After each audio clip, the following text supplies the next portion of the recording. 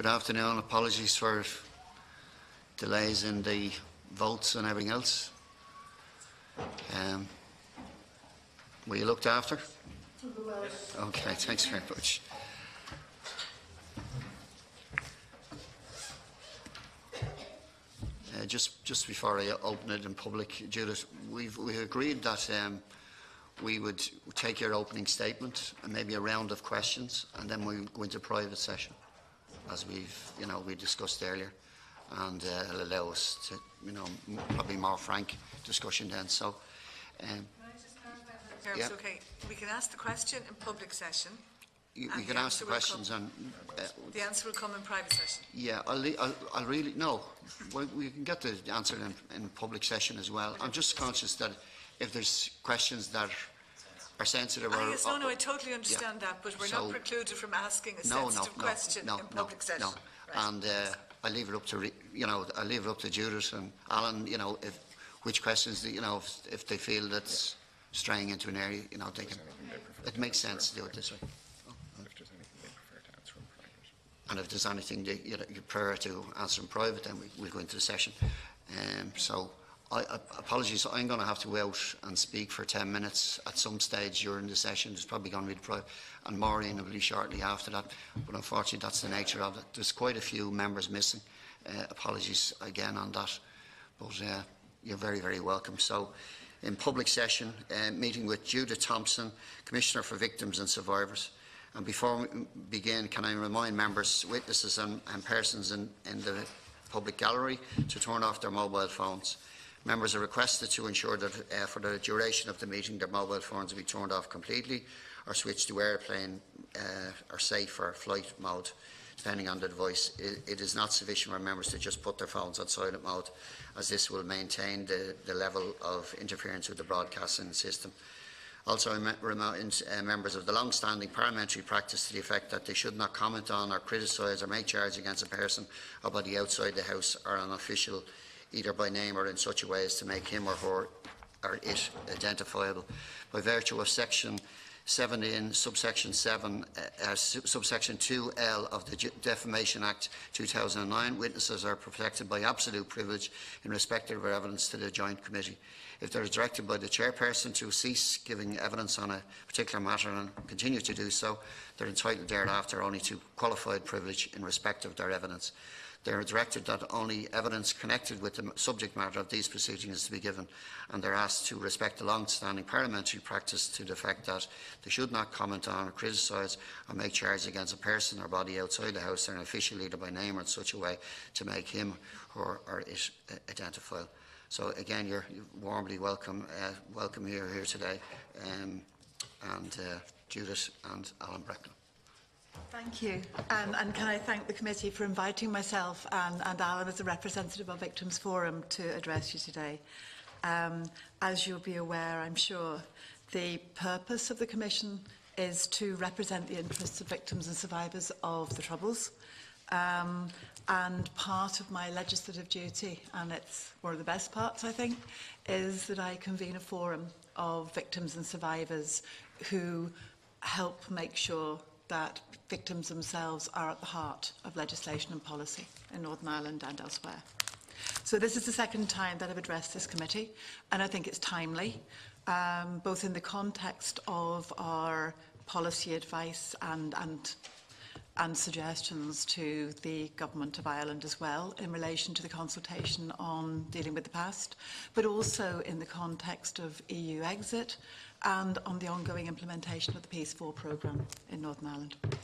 Um, I'd like to start by providing some brief commentary on these important developments, and particularly in relation to legacy-related matters. So, members of this committee were very aware that the Good Friday Agreement made a commitment to, to remember and care for those who were harmed during the Troubles. And it's my belief that there have been a number of very, very substantial attempts over the years to address the harm that was done, um, but that so far the legislation which we need, and we do need legislation, and we need it on both sides of the border, um, has failed to be agreed, failed to be passed to address the needs of victims and survivors. So the fact is, as we sit today, that bereaved families who wish to access judicial processes, who come from every part of society, from across the United Kingdom, Ireland and beyond, at present, those people are told they must wait decades, if at all, before they can get access to investigations, to justice, to, to information about the death of people they loved, and to acknowledgement of the harm they suffered. And this has a growing cost. It has a cost to, to families and to people in terms of their belief that the state they live in cares for what happened to them, in terms of their faith in government and justice organisations, and in terms of the community's faith in justice organisations, particularly, I think, in Northern Ireland. Judicial reviews and legal actions have also got a high financial cost. And the irony is that spending £30 million a year for decades on dealing with legacy in ways that does not work and fighting judicial reviews and actions, actually it's more expensive to do nothing and to continue as we are than it would be to introduce new mechanisms that would have a better chance of delivering for victims and survivors. So it's almost universally accepted that the current system in Northern Ireland, and I would, and I would say beyond, is not equipped to address this situation. And it was not designed to do so. And the cost of this failure is evident at many levels. For individuals, families and communities across these islands who were impacted, there is still acute pain and loss. And that is now accompanied by a strong sense that those who are empowered to address their issues have chosen to ignore them for decades. And that is why dealing with the legacy of the past cannot be achieved by measures which fail to fully address the many complex and difficult issues. It is also very clear that in the context of high levels of disillusionment and low levels of trust which exist across different political constituencies in Northern Ireland and in Ireland, then any approach must be balanced. It must be transparent, it must operate within the law, and it must be victim-centred. Victim People who have suffered harm have waited too long for effective organisations to address their needs. So in relation to legacy and the current consultation, or the recent consultation, in May 2018, the UK government published its consultation paper addressing the, law, the legacy of the Northern Ireland's past. And that set out draft legislation for implementing the Historical Investigations Unit, the Oral History Archive, the Independent Commission for Information Retrieval and the Implementation and Reconciliation Group. There were 18,000 responses to that consultation, and as we still await the outcome of this consultation, victims and survivors continue to be frustrated by the failure, failure to, deliver, to deliver on those legacy mechanisms. And whilst recognising that these delays have a link to the current political impasse, I would still strongly impress on all our political representatives to agree proposals to deal with the past. People have waited too long. I would now want to reflect on some changes which I believe could make these proposals more victim-centred and inclusive, but the need in spite of anything one might say about the current proposals, and they can be improved and should be improved, the need to find a new way forward is unarguable. There is really no good case for continuing to deal with these matters in the way they are currently dealt with and not dealt with. So in January 2019, I offered this advice to the UK Government, um, and it set out the Commission's views on the basis of extensive consultation in relation to those four proposals.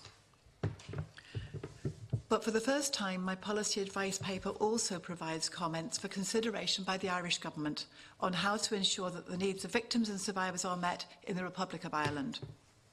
When talking to people affected by the conflict across the United Kingdom and Ireland, it is clear that their experience and needs are very much the same. I believe that these needs should be addressed in an inclusive way and that this means that choices and options which are open to those who live in Northern Ireland should also be open to those who live elsewhere. And that is why, for the first time, I have shared my advice and made proposals to the Government of Ireland. The recommendations in my policy advice have been made after extensive engagement with my Victims and Survivors Forum, with individual victims and survivors, strategic partners, elected representatives, policymakers and organisations funded to deliver services, as well as wider civic society.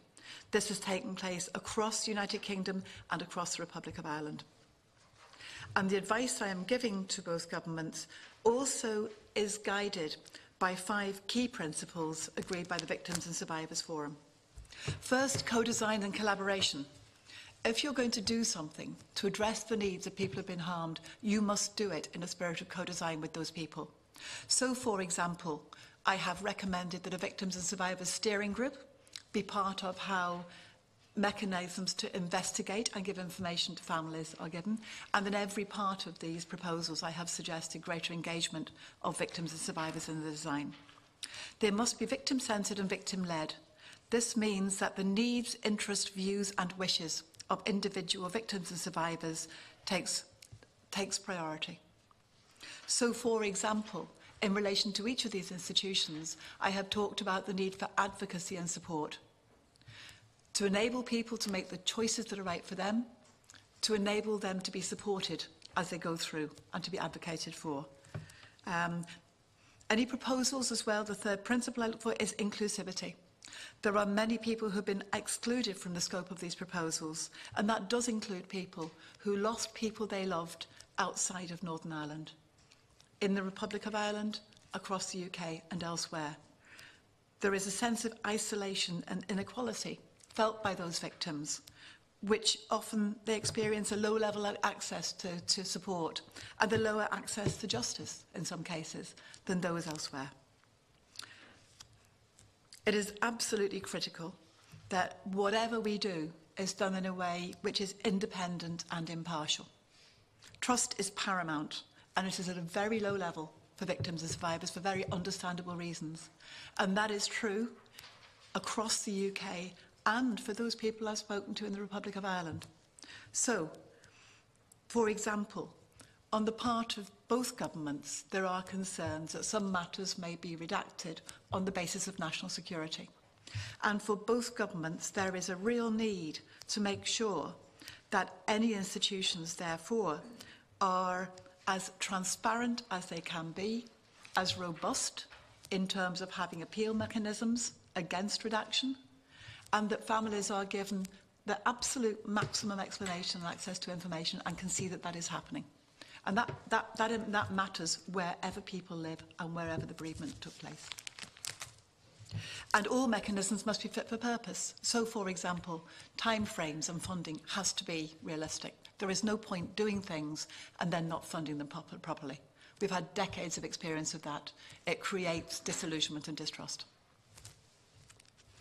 In relation to more general issues in addressing legacy, in the NIO consultation, the Secretary of State has clearly detailed that they must be first and foremost meet the needs of victim survivors, that they must seek to promote reconciliation, and they must reflect broad political consensus. And I would welcome those broad principles. However, whilst I'm of the view that these proposals currently are the best opportunity we have, there are significant changes that need to make, be made to address the principles that I've given. The purpose of historical investigations should not be defined narrowly in terms of the numbers of prosecutions. That is not really, primarily, in the end, what these investigations need to deliver. What, is what matters to people is evident from previous and ongoing investigations that new information and evidence can be uncovered and that families who want answers can be better served than they have been even if the evidence is likely in many cases to be insufficient to secure a conviction. The critical issue for many families and communities as well are access to information about the circumstances leading to the death of people they loved and acknowledgement of the harm that has been done to them. I have sought in my advice to draw out what the implications of this should be, what this focus on families should look like for the objectives, the structure, the staffing and the processes of historical investigations. This is not a normal investigation. It is not just about getting convictions, and it is worth doing, even if convictions are going to be very few and far between. It's often pointed out that different people have different wishes and needs, and therefore it is right that the proposed package of measures offers choices and options to individuals and families. But, however, these choices and options must be accompanied by support and information, so people can make the decisions that are right for them. The people who want information can be given the best opportunity they have. But at the same time, those who really don't want information, and there are, there are many, there is some in every family, that they aren't routinely delivered with packages of information that they actually don't want. That there is an intelligent and informed way of communicating with families. Advocacy services are critical for people when they engage with legacy institutions.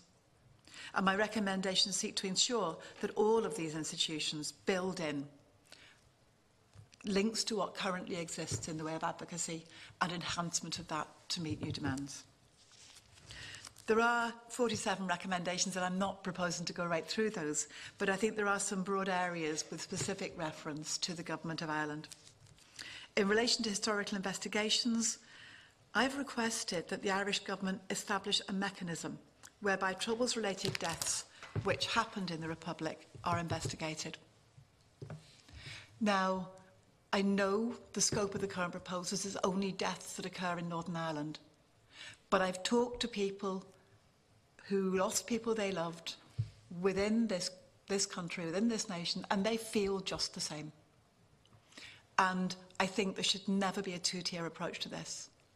You can't have a hierarchy based on location in terms of how people access truth and justice. So it is my strong submission that there needs to be a new mechanism here as well to investigate outstanding, outstanding troubles-related deaths here.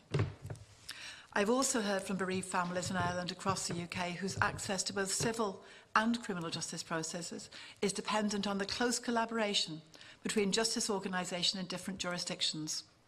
I welcome the development of legislation by the Irish Government to facilitate exchange of information for legacy inquests.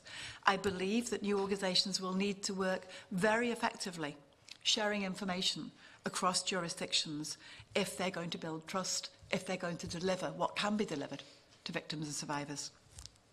And for both governments, there are issues regarding information regarded as sensitive in relation to national security. And for both governments, there is a need to establish fully transparent and accountable processes for determining what information can be withheld or should be withheld on those grounds. Victims and survivors across the UK and Ireland, for very understandable reasons, feel that both governments could use redaction on the grounds of national security as a cloak behind which to hide unpalatable facts. And whether that perception is accurate or whether it is not, it is entirely understandable if there is not as transparent a process as achievable.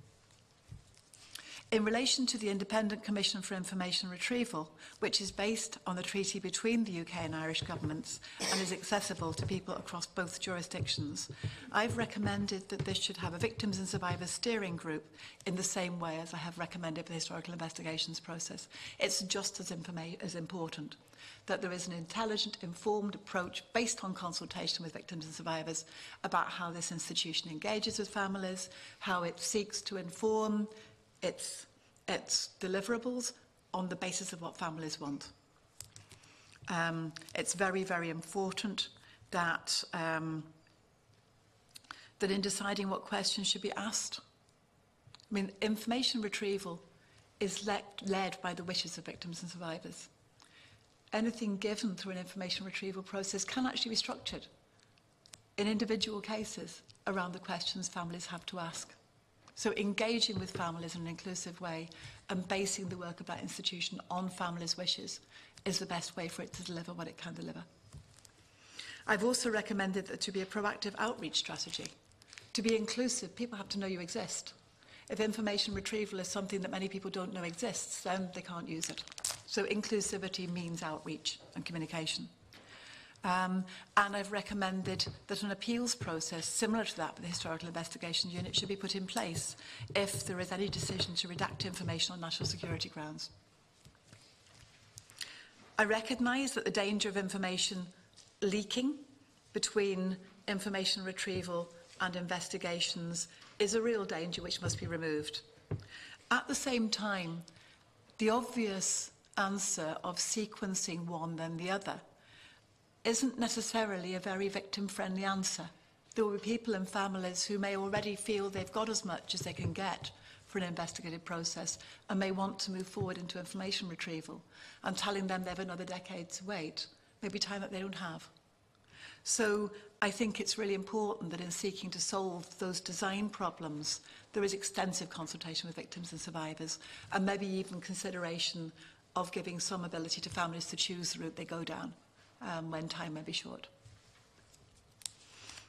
And another key issue to be addressed, particularly in relation to information retrieval, is the impact of incomplete or incorrect information. I've met and talked to people who've been given information which has then turned not to be correct. And that's worse than being given nothing. In relation to the Oral History Archive, which is an incredibly important proposal for something which can capture narratives and grow understanding in a way which really can help build reconciliation, as well as giving people the right to have their experiences acknowledged and heard and recorded. So it's really important that it's done in an inclusive way. And the same points about it can't be something that sits in a building somewhere. It must be based on outreach.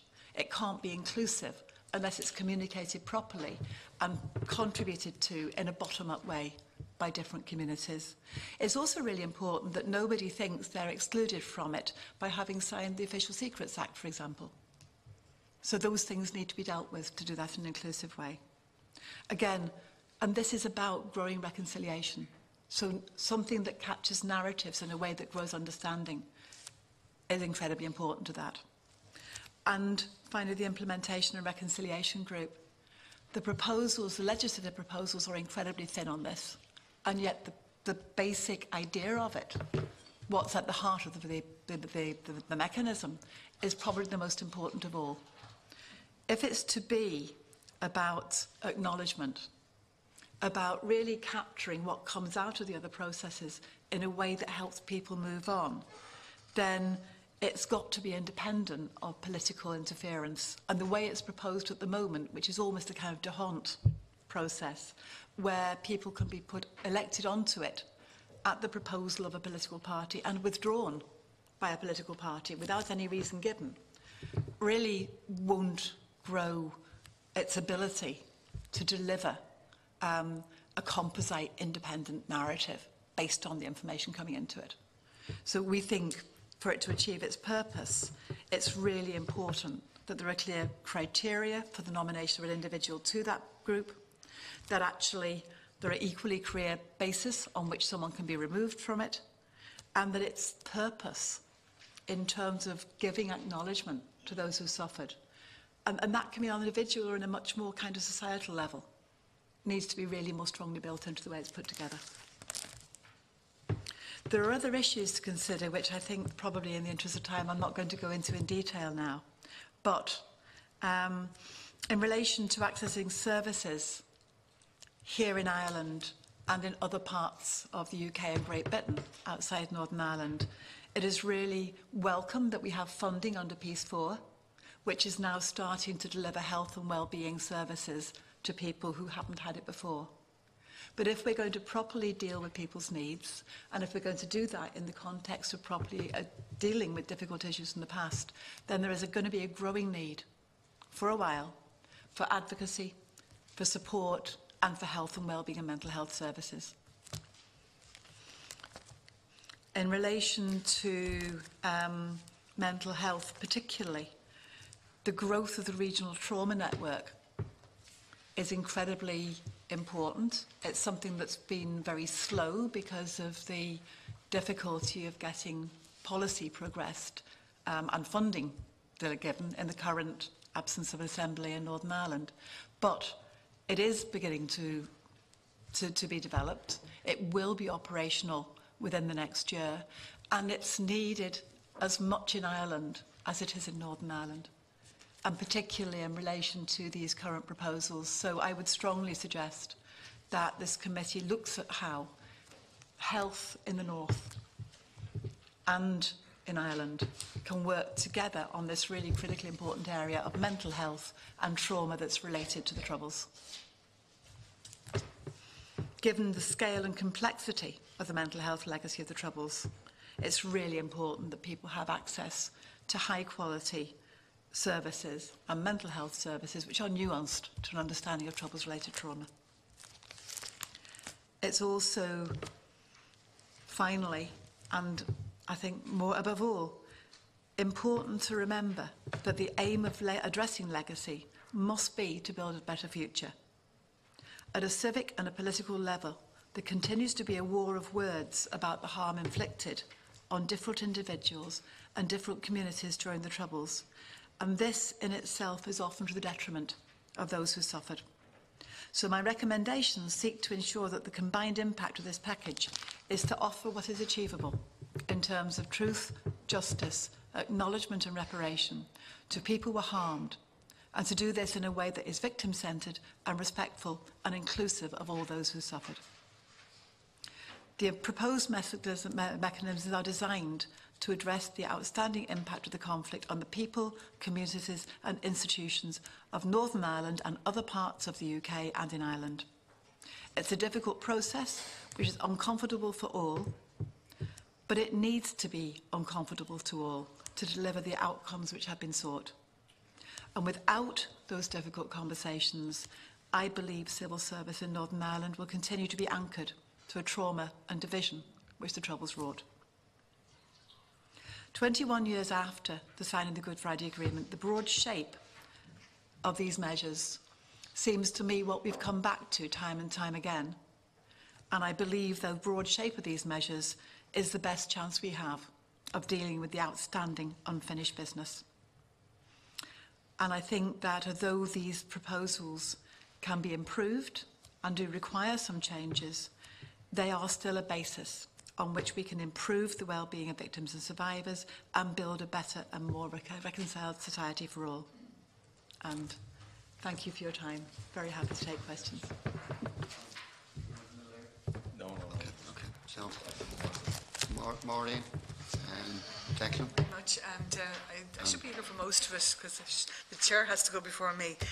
Listening to you and reading the policy paper, my immediate reaction is, if only you were the Minister of Justice for Britain, Northern Ireland and the Republic.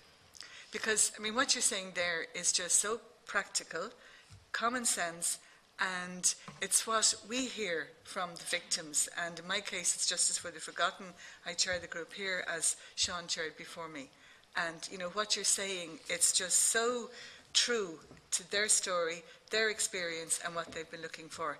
I mean, 21 years since the Good Friday Agreement, they're waiting 45 years now, this year, 46. You know, it's just incredible. So reading through it, the things that, that really struck me were um, that in the policy it's paramount that information is not seen to be withheld by any government or institution.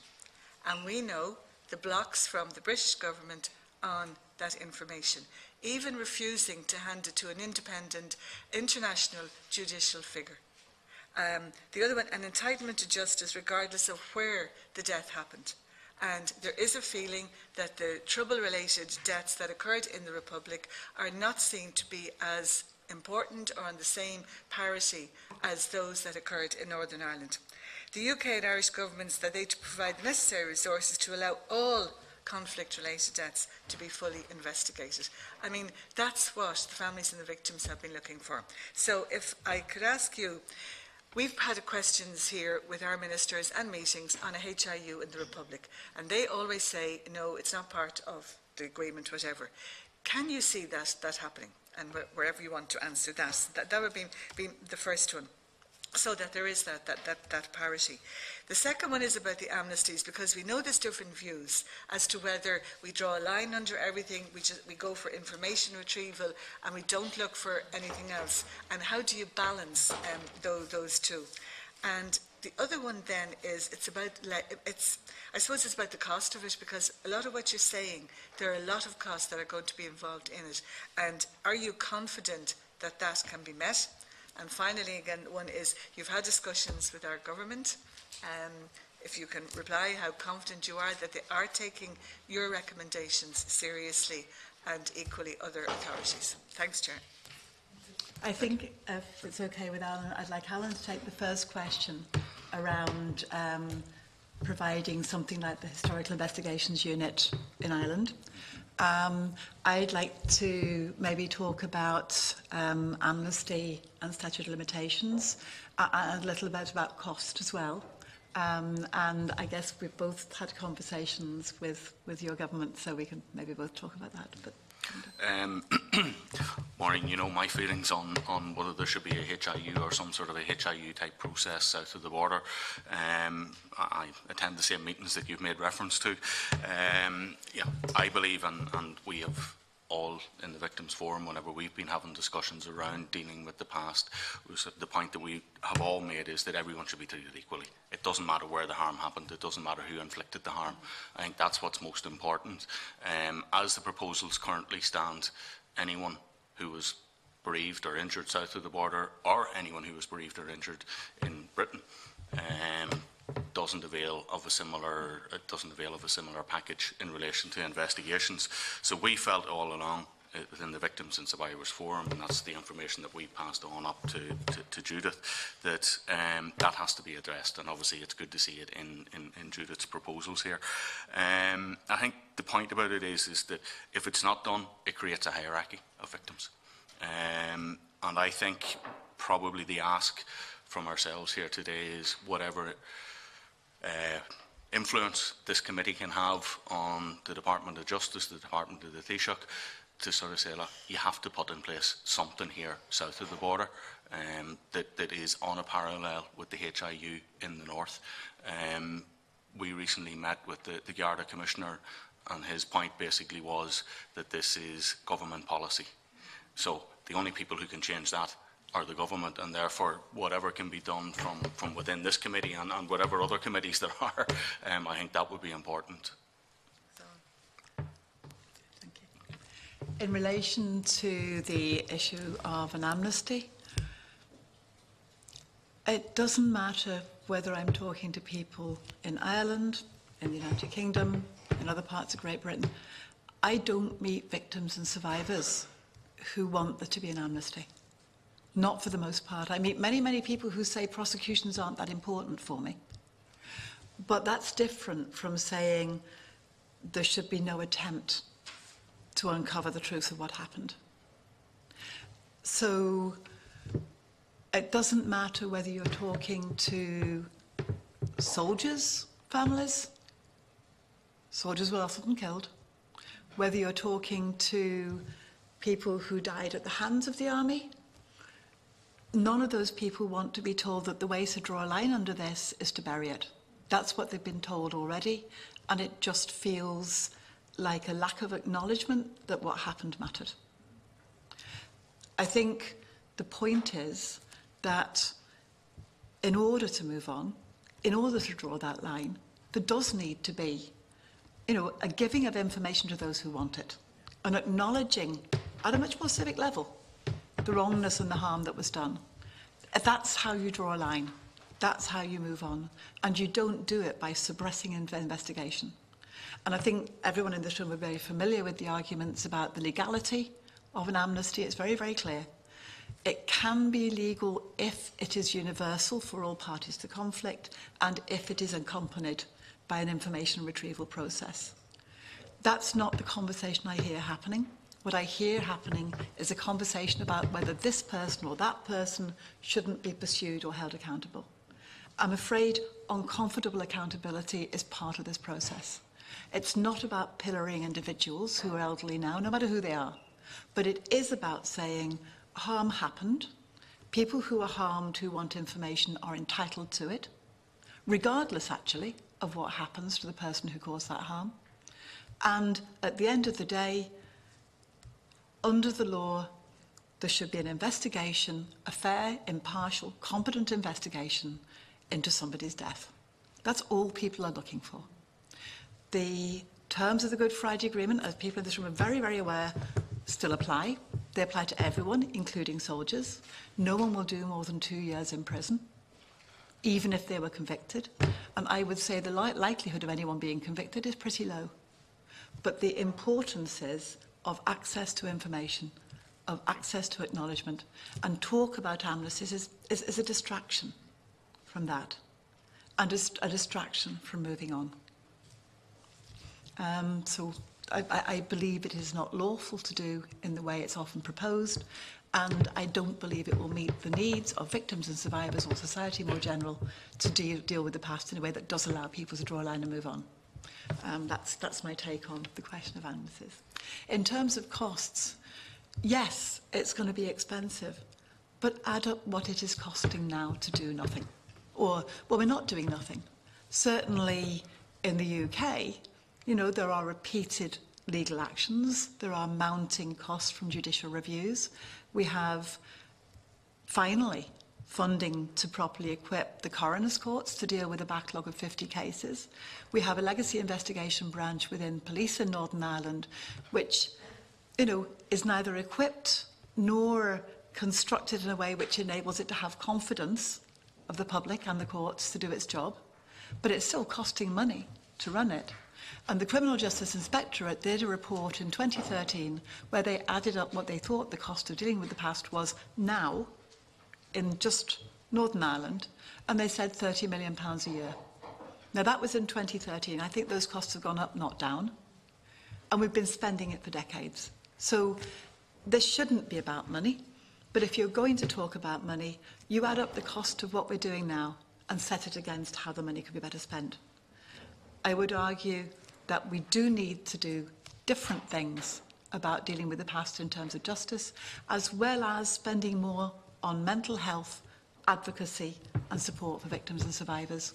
And I think the long-term results of that will be much, much better for people, for families, for victims and survivors, and actually for communities and civic society as well. Um, and in terms of conversations with government, well, we're here and delighted to be here. Um, I do, I mean, in the consultation and our response, we were certainly very helpfully assisted by the Department of Foreign Affairs in setting up events. Um, we worked with Justice for the Forgotten as well to contact people and with Austin Stack and other people connected to him to get people together here. Um, uh, I guess the proof of the pudding will be in, in what is then implemented. There is a need, and I know there is ongoing work on legislation to enable information to be given between jurisdictions on civil matters, but more is needed. There needs to be, as Alan has described, a, a counterpart to this investigative unit working here. I've had the same conversation with families in Birmingham. There needs to be something happening in other parts of the UK as well. People who've been left wanting for decades don't expect the system that has failed to deliver to date to do better for them next time. And why should they? Uh, firstly, I'd like to thank you, uh, Commissioner, for your presence. One or two more as well, a second. Um, Michelle is looking to come in. Someone else? Uh, Commissioner, um, and indeed, um, Alan, uh, firstly, it's on days like today that I suppose my belief in politics and progress uh, gets restored because the first thing I want to do and to ask as well is that this report be delivered to each and every one of those victims and survivors because sometimes I find, although this is a live broadcast, that we can be talking to ourselves uh, because that certainly to me would give some faith that some progress has been made because the old adage, justice delayed is justice denied, uh, you know, is, is, is so true, uh, but equally, uh, I've said it here time at a number at this committee with various presentations, that if you didn't or weren't told who was making the presentation from either side of the divides, uh, that the problems are the same, and that particularly relates to the legacy issues. So, you know, whether you're talking about the Kingsmill Massacre, Miami Show Band, individuals like Terence McKeever, uh, the Ludlow family, uh, the victims as they disappeared, whether it's Captain Robert Nairac or indeed, uh, as I said here again at this committee, my intimate involvement in the issue of the disappearance of Eugene Simons and Jared Evans, very close to where I live, and Maureen and others can speak for the Dundalk, Monaghan and Dublin bombings. The reality is that my engagement with these people and many others who have come in front of this committee is they hear the talk, uh, they, they want to walk the walk, and I think what you put together here today, for me, encapsulates an awful lot put very eloquently uh, that I think members of this committee have said in various utterances, including myself. Um, I think, you know, speaking to governments, um, you've said you speak to them. We're been asked to put whatever uh, pressure we can on justice or others to fulfil this document.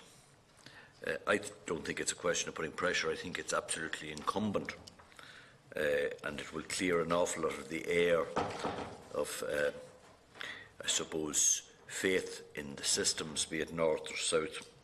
And I want to commend you uh, for for that. Um, I want to particularly refer to you know, your, your issue of legacy, where we talk about justice and truth, and particularly the aspect of amnesty, which was taken with there in the last few minutes. Uh, my experience, and certainly uh, it's not necessarily the same as what you have said, uh, is that people just want to have closure. And ultimately, whether that closure is looking for uh, a uh, you know, a court case and a conviction. But in the main, I have certainly found all people want is the truth and to relive their lives.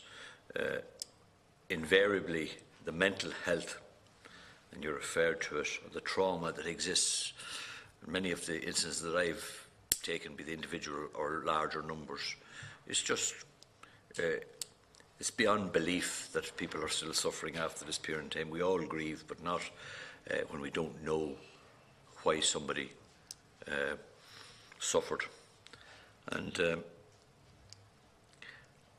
I sort of become slightly emotional about it because, again, having lived the border and seen the, the trauma on both sides, I don't care who these people are, they're entitled to a conclusion.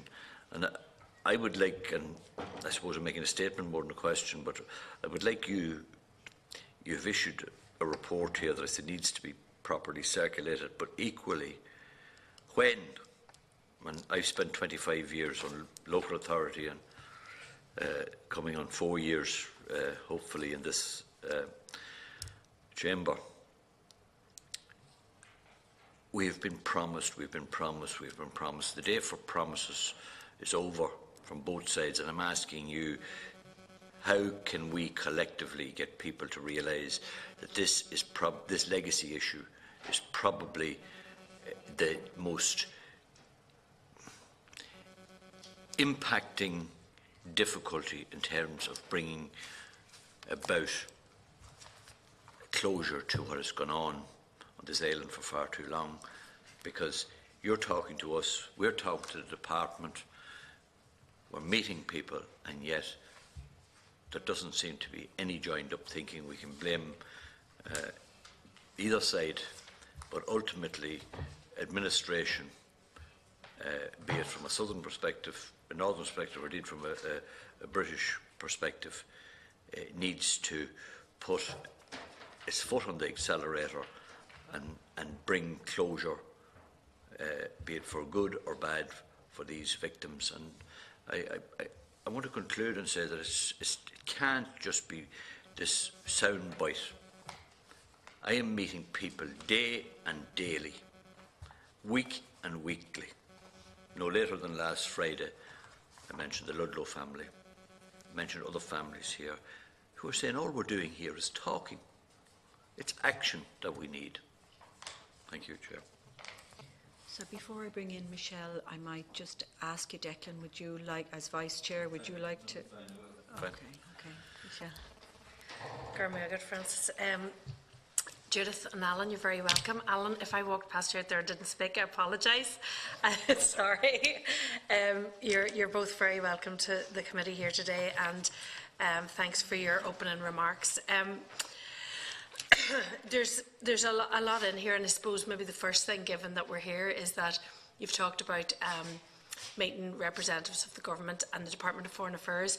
Have you met with the Taoiseach or, or Minister Coveney yet? Because if the policy is going to change, it's, it's people like that are going to have to change it. So I'm wondering at what level have you met with um, people within the government here? Because I do think it's important that um, that they're bought into the, the process. And I agree with both Maureen and Declan. There's a lot of common sense in what you've said already. Um, and certainly we would appreciate that change in policy. I know there's victims um, right across these islands and survivors. There's and well, the Dublin and Monaghan bombings understandably get a lot of attention. There were bombings in Cavan as well, and families bereaved and children who died as a result of that. And I'm not, you know, I, the pain of those families is the exact same that of Jonathan Parry. So, you know, anybody who's lost a loved one knows what it feels like to be a victim. And to that end, is there any progress on a definition? And um, then the the recent rev releva revelations around some of the um, what happened in the north and the impact on victims. Could you maybe talk a wee bit, Judith or Alan, about about sort of how people are feeling as a result of that? And um, then I suppose finally. Uh, it's interesting what you say about government using redaction on the grounds of national security, and I think we've long felt held that view. Um, I've been to coroner's courts and to um, inquests where it's clear to be seen that, that that is happening. And when we talk about the cost, the financial cost of inquests, they wouldn't be as expensive if the British government didn't spend as much money trying to keep the truth from the families. So we recently had, after over 25 years, we recently had the case of the Mallons finally getting to inquest stage, and the coroner basically said that no evidence of collusion was found, but he in, in his opening remarks, described the litany of attempts that were made to either destroy that evidence or to hide it. So, while no evidence was found, understandably, because it was all got rid of. So, there was a family who came through the inquest after decades of waiting, only to feel probably worse than they did before they went into it. So there's an awful lot of pain and hurt out there. I recognise that, and you know we've we've we've be, all been through the conflict. I was diagnosed with PTSD in 2013 as a result of it. So there's a lot of damaged people out there who, who really do need, and I'm glad that mental health featured so heavily in the in the report, Judith. We have we have to look at the wider societal issues, the impact that we have both on prescribed drugs, on um, our suicide rates and all of that. So there is still an awful lot of hurt and if it's not tackled and dealt with properly, then that hurt will continue to be generational and that pain will be felt for years to come. So thanks a million for coming and for giving us your time here today. Um, I think just on, on your, your last point there, Michelle, transitional transgenerational trauma is something that is, is starting to get um, a degree of traction insofar as people are actually acknowledging that it's happening now. Um, traumatic events that happened within families haven't been talked about for years, then suddenly a grandparent dies and it all comes back to people and they have that opportunity to talk where they hadn't talked before. Um, so I think we have to be very cognizant of what's actually happening there. Um, I think, you know, we hear often that um, in relation to the likes of mental health and the health budget for, for the North, that um, you know, it has to be in line with health budgets within the other parts of the UK, and that takes away from the fact that we actually went through 25 years to 30 years of a conflict. Um, you can call it a conflict, you can call it the Troubles. You know, to me, it doesn't matter what you call it. At the end of the day, it was an abnormal way of living for 25 to 30 years. Therefore, that has to have a knock-on effect, and we have to acknowledge that knock-on effect. And whether that's putting money into the regional trauma network, which which I think is the best way of moving it forward, and, and we've had discussions with the people who are doing that. Sorry, when I say we, I meant within the Victims Forum. Um, so from that perspective, that has to be dealt with. In relation to um, getting the government involved, I think un unfortunately, you're right, Declan. A lot of people play lip service to these issues, and, and that's not good enough because it's actually something that has impacted massively on people's lives, whether they're living south of the border, whether they're living north of the border, or as I said earlier, whether they're living in, in, in Great Britain. The point about it is, is that it's not about money. It shouldn't be about money. If, if money needs to be found to build a, a nuclear power station, it can be found. If it needs to be found to fight a war somewhere, it can be found. So that's not, for me personally, that's not an issue. Um, I think what's important is that we actually start to deal with this as 21 years on, as everyone has said yesterday from the Good Friday Agreement. We don't have many opportunities left. We've gone through a numerous different consultations going back to Eames Bradley and even before that. There's nothing new in, in, these, in these proposals, or the Stormont House Agreement proposals, that weren't in Eames Bradley. You know, so we lost 10, 12 years there. We have to do it now. People are getting to the age that it's like, I don't want to make this personal, but my mother is 86 years of age now. Thank God she's in the fullness of her health, but there are other people who aren't. We can't allow this to drag on for another generation. I don't want my children having to deal with what I've dealt with. Um, and I know I'm personalising that, but I'm only personalising it to make that point that, that we shouldn't allow this to, to, to move on to another generation. Can I just say, um, it was only when Martina was talking, it just brought home to me, I attended the play in Belfast, and that was so powerful from victims and um, families, and the testimony that you all gave. Um, and it's great that it's coming to Dublin so people here can have a, a chance to see it. But to me, it was the power of drama to tell a story in a way that reports, you know, don't tell. So congratulations on your acting also. Thank you. Um, just in relation to that, I think you know it is important to actually notice and realise that there are other ways of telling the story. You know, it doesn't have to be part of the criminal justice system, and, and I, to be honest, found that out by being involved in that process. Um, it was a nerve-wracking process from the start. But the point about it is, is there are other ways of doing things. We shouldn't always look to the criminal justice system because in, in most jurisdictions, the criminal justice system hasn't worked for people, and it hasn't worked for people definitely in relation to the troubles of the conflict. So we do need to look at different ways of dealing with our past and, and actually getting a sense of empathy for each other, which I think is sometimes lost and sometimes missing.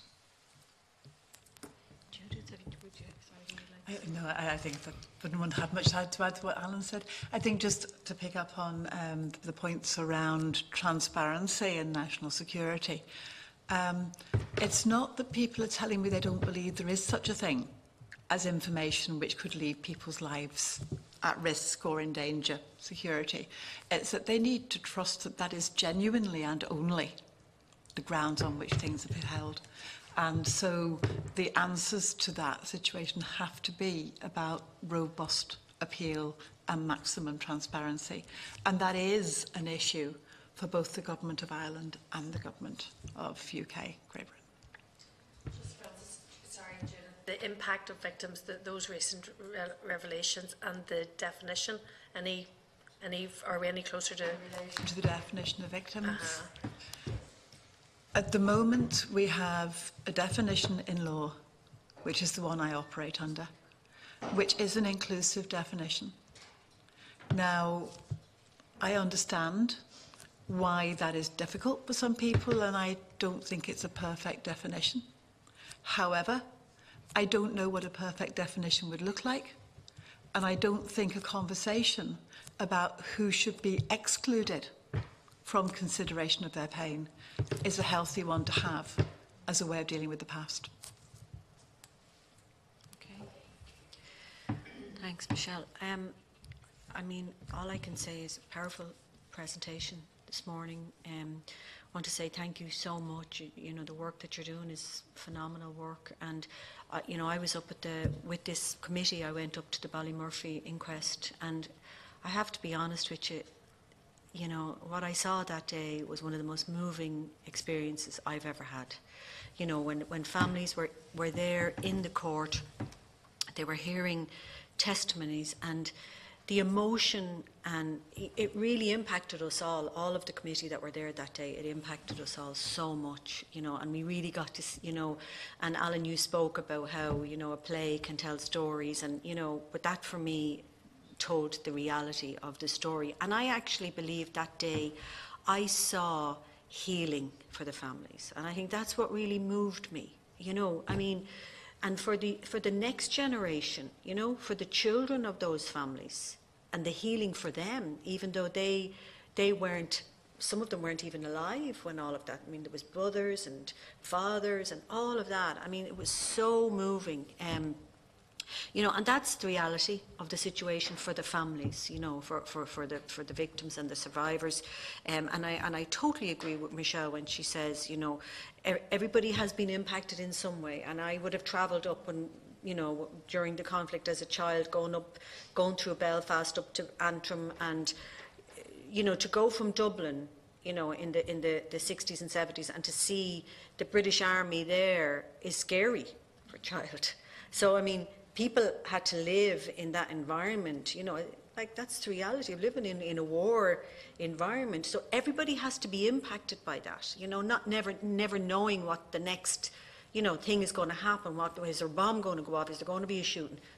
Nobody knew. So you're living in that PTSD, you know, um, environment. So the impact of that, and that does come down through the generations. There's no doubt about it. And we know the huge suicides, in and it has to be a priority. Actually, I mean, it really genuinely. If only, you know, the reality was out there from from both governments to, that this should be a priority. This has to be a priority because, you know, it will break that that intergenerational trauma, and it will save money.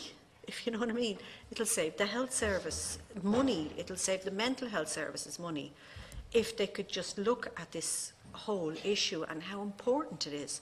So, you know, I, I don't have, you've given a fantastic um, presentation today, very clear, you do great work. I mean, you know, I'd love, uh, you know, we, we want to do our best to support you in, I mean, we do, we're, we're constantly kind of having these discussions. Um, I mean, I'm not sure uh, what your reply, I think Michelle might have asked, when you did meet with um, the Taoiseach, I mean, what was the feedback? Um, do you think that it, it might be a priority, or what's your thinking on that? I've met with the Taoiseach on a number of occasions and with the Justice Minister, Johnny Flanagan, and I think I have a meeting in the diary for next week as well. Um, I believe there is a good understanding of the issues. Um, I believe there is a sense of it being very difficult to move on. Um, I, I need to be more reassured that both governments see this as something which is not only important but urgent and doable. That's just in the words that Judith has said that this committee uh, call on that action that she has just referred to and that we write as a committee uh, calling for that action. And without wanting to come back in separate that, I, I omitted to say that I thought it was it's appropriate when we're dealing with the issue of the victims and survivors that, again, that this committee, in whatever capacity it can, would publicly call on those who have not returned the bodies of the disappeared, namely, uh, I think Seamus Ruddy, Joe Lynskey, and uh, Robert Nairac, that any information, and I know the, the, the Commission for the Retrieval of the Disappeared uh, are doing the very best, but without people coming forward that information, I think uh, the issue of people not having uh, closure on remains, that it's incumbent on us to uh, publicise the need for people. Uh, and I thought the fact that Brendan made reference to people are ageing, people are going on, there are people out there have information, and it should be provided before it's too late. Was there anything you wanted to say there, Alan? Just to go back to your, your comment about being up at the, the Ballymurphy inquest, I think the, the, the big part there is it's acknowledgement. It's acknowledging that something happened to someone. Um, and unfortunately, not everyone will ever get the inquest or, or, or that level of acknowledgement and that public level of acknowledgement. But that doesn't mean to say that there shouldn't be mechanisms put in place by both governments that attempts to get that level of acknowledgement. And I think that's where the, the, the investigative body has the opportunity of actually looking at it and saying, if a family wants to engage with that sort of a process, well, it's there for them. And everything that can be done will be done to ensure that whatever information is available can be given to the families. There are obviously the other mechanisms there as well, and, and the oral history archive is one where, you know, that gives the opportunity for families to tell their story and, and to, to document in some way what actually happened to the individual, who the individual was, and that's what gets mm-hmm. lost in an awful lot of all this. You're just another figure, you're just another statistic, and unfortunately, we talk about there were 3,700 deaths, but we don't talk about who those individuals were at times, and I think that's what's important out of any of this process is that we remember actually who those individuals were, and it's not just the people who died in, in high-profile incidents or who, who can campaign and, and have the power to campaign. Um, everyone should be remembered. There's lots and lots of lost victims, so to speak, people who are sitting at home very, very quietly, who have, have massive issues, and, and, and they're the people that we need to be reaching out to, and that's what this, this whole process, the Stormont House Agreement legislation, all of that should be about reaching out to those individuals who haven't come forward to date, who have unanswered questions, and the only way that can be done is if, if both governments actually are prepared to, to grab the bull by the horns and actually do something positive about it as opposed to just paying lip service, which seems to be where it's at at the minute. Um, we met with the NIO a number of weeks ago and they're still uh, collating their response to the, to the, to the consultation. You know, how, how long does this go on? We need to see some sort of action, um, not just from the, from the British government, but also from the Irish government as well. And just, just, I had one more question there with regard to, um, did you have, have you had any meetings with anybody in the UK ar- around this, with any of the ministers over there? Or has there been any meetings with them? I and the Victims and Survivors Forum have met with the Secretary of State and the previous Secretary of State and the one before that. We've had a number of meetings with the Northern Ireland office. In fairness, we have very regular correspondence with them, but it's seeing action. Yeah, okay. Um, Declan, did you give a proposal there? We as a committee should, uh, through the chair, write to uh, Minister for Justice and Tisha Contonish to asking for action. Uh, Okay. Is that agreed?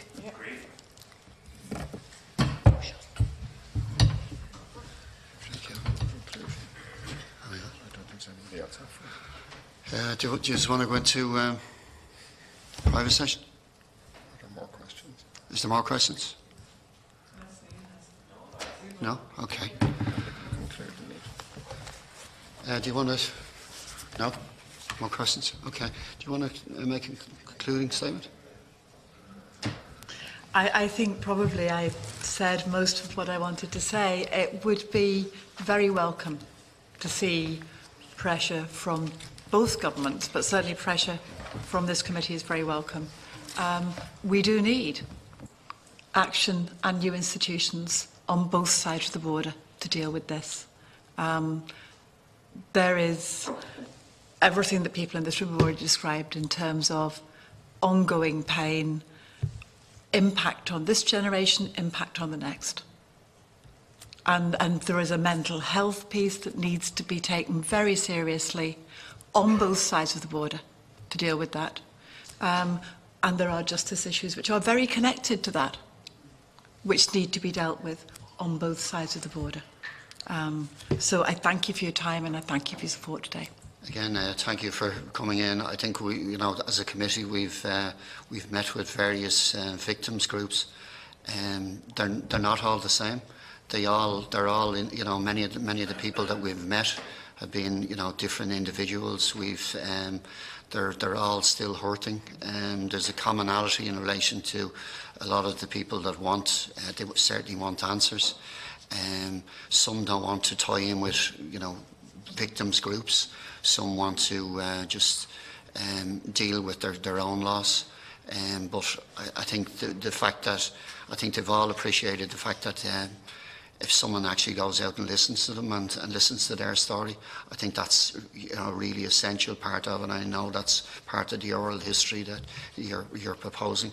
Uh, I really appreciate the, the committee really appreciates you your, the time uh, you've spent to come the, to the me- apologise again for the, the delays and the, the meeting starting, um, and we will uh, certainly your proposals and your submission here today will par, uh, be part of um, whatever, you know, the submission that we will actually do on, on this whole area. Um, please feel welcome to uh, keep in touch with the, the committee and we feel if you w- would like to come in, at some stage in the future, if there's some development in relation to the, uh, this whole uh, victims area, um, or you, you feel that you need greater support or whatever, please come, please contact the committee and we'll be only delighted to uh, to, to, to welcome you in. So uh, the meeting now stands adjourned. We will next meet on Thursday, the 9th of May. Go raibh maith agat.